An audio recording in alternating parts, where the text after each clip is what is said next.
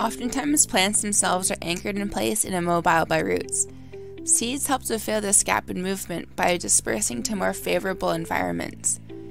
Overcrowding isn't sustainable, and dispersing seeds farther away from the parent plant to sites where more suitable conditions exist can reduce conspecific competition for water, sunlight, nutrients, and space.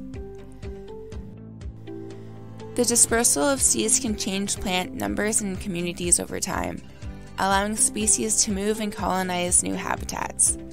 Some of the ways that seeds disperse are through gravity, where the seeds simply fall to the ground like apples, black locust tree seed pods, common mullein, and teasel seeds. Oftentimes, this allows for farther transmission by animals, like forgotten walnuts and acorn previously stored for winter, for example. And birds who also eat the fruit of plants such as wild grape, Virginia creeper, European buckthorn, and staghorn sumac which disperses the seeds in their droppings after digestion. On the other hand, some plants have also developed fur and feather hitchhiking adaptations, like hooks, barbs, and spines. This is displayed by species such as the common burdock, devil's beggar tick, and enchanter's nightshade.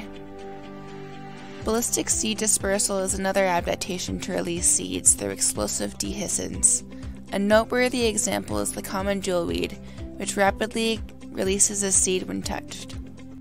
Garlic mustard, silique, and common milkweed follicles also undergo dehiscence and open at seed maturity, though milkweed also develops white hairs that allow for wind dispersal as well. Other species with wind capabilities are sow thistle, Canada goldenrod, and maple and ash samara. Common cattail also disperses well in the wind and in the water.